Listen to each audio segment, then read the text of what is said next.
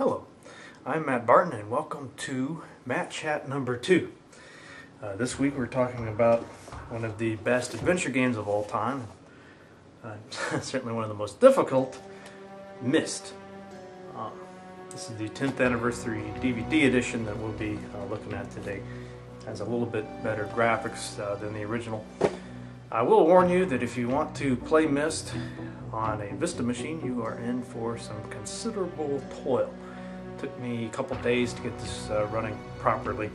Uh, the key to it is to roll back your version of QuickTime to 4.0. And that seemed to do the trick. Uh, that and you might want to tinker around with your um, compatibility settings. I'm the co-author uh, with my friend and colleague Bill Loguidice of Vintage Games. Uh, this is a book that talks about some 30 odd uh, really great games, really influential games, um, including Myst. Uh, gets its own chapter here. So if you like what you see uh, here today, um, please check this out. It should be coming arriving in bookstores in just a few weeks. And then, of course, I'm also the author of Dungeons and Desktops, a book about uh, computer role-playing games um, if you're interested in this stuff, I highly recommend that you visit our website at armchairarcade.com, where we have uh, many blogs and articles and uh, you know great community of people interested in these classic games. Okay, so without further ado, let's turn to Myst.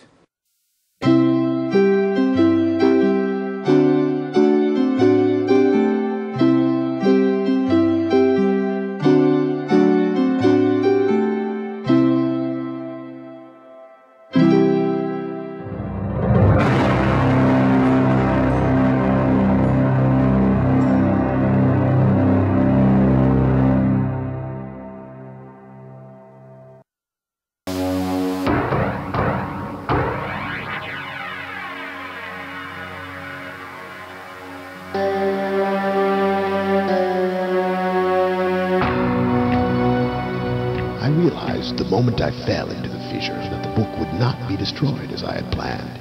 It continued falling into that starry expanse of which I had only a fleeting glimpse.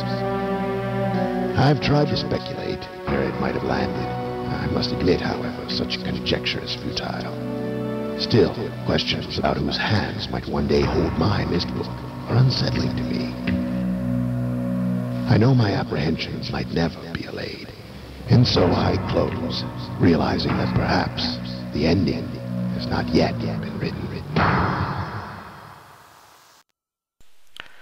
Cyan's 1993 masterpiece, Myst, is one of the most definitive, important adventure games ever made, if not one of the most important games, period. It was the best selling game of all time until uh, The Sims finally overtook it in 2002. Um, had very wide, massively broad appeal. Um, and it was also said to be one of the primary reasons for the uh, shift to CD-ROM as the storage format of choice. There are lots of things that make Myst special. Uh, one thing that you probably noticed already from these clips is the almost total lack of an interface.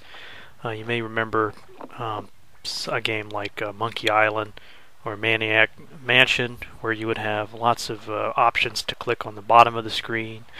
Um, other games like ICOM Simulations, Deja Vu, you had a pretty elaborate uh, window interface with all sorts of icons and uh, drop down menus. Here, all we really have is that mouse pointer, that little hand. Um, you don't have an inventory system. You just click on a, a, few objects on the screen. So you move around just by clicking various hotspots. It's a very simple, very intuitive interface. And I'm sure that's one of the reasons this had such a broad appeal to people who don't normally play games. And this is something anybody could pick up and play in just a matter of minutes. As you can see here, we're already getting into the soul of Myst, which is all of these mysterious, inexplicable machines uh, lying around like this uh, display device. Uh, we the uh, object of this game, or the most of the gameplay, consists of finding clues um, experimenting with these machines in a scientific manner. Uh, there's very little in the way of narrative, but there is some, and um, I'm going to show you some here. Monsieur?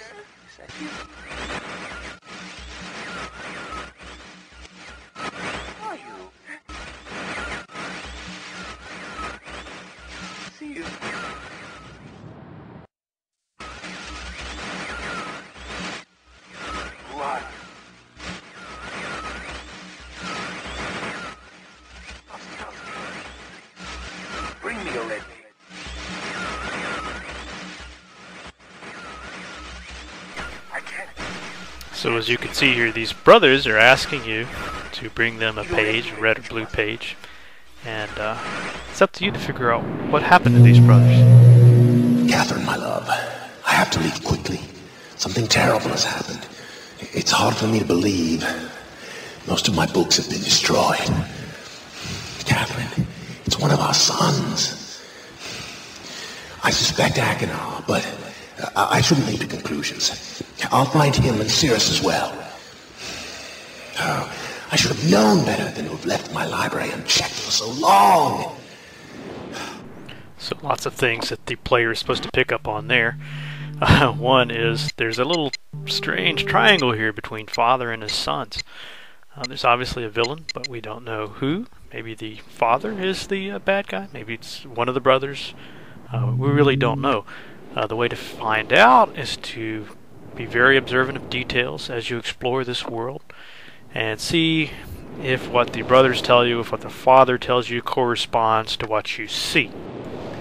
Another thing that's about Myst that some people enjoy and some people uh, detest is that it's not really clear uh, what order you should do things in, uh, where you should go, uh, what's the purpose of any particular machine. is not always obvious to you. Um, so you have to think inductively here. So we, for example, here we have some sort of electrical generation. Uh, you saw a couple of numbers, has something to do with the spaceship, and some switches. Uh, so what we have to do is um, take some notes, and then as we explore other parts of the world, see if we can find any clues that correspond. Um, so what's the combination to the safe? Uh, what's up uh, with this gas uh, machine here? Something to do with the that tree in the picture, perhaps. Uh, so you're always wondering, wondering about, taking notes, making observations, and that's the essence of the gameplay.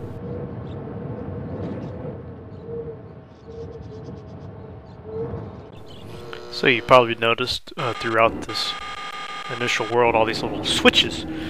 And the purpose of these switches is to mark locations on this map uh, that I just clicked. And that will allow me to rotate the tower. And when it reaches the red lines, I will find uh, some clues. So here I'm going into the into the tower and see what kind of clue I can find. As you can see, we're being treated to one of the QuickTime movies that are sprinkled throughout Myst and Riven. Live action sequences. These were very impressive stuff back in 1993. So here we are, 2 colon 40, 221. Uh, what does that mean? What does that correspond to? So if you're astute enough, you might think back, well, what about that tower with the clock? Maybe that's what that corresponds to. So there you have it, folks. Myst, one of the most influential adventure games of all time. It's a huge game with a diverse array of puzzles and locations and scenes and just a great game. It's still fun to play even in 2009. So, hope to see you next week, and that's all for today's Matt Chat.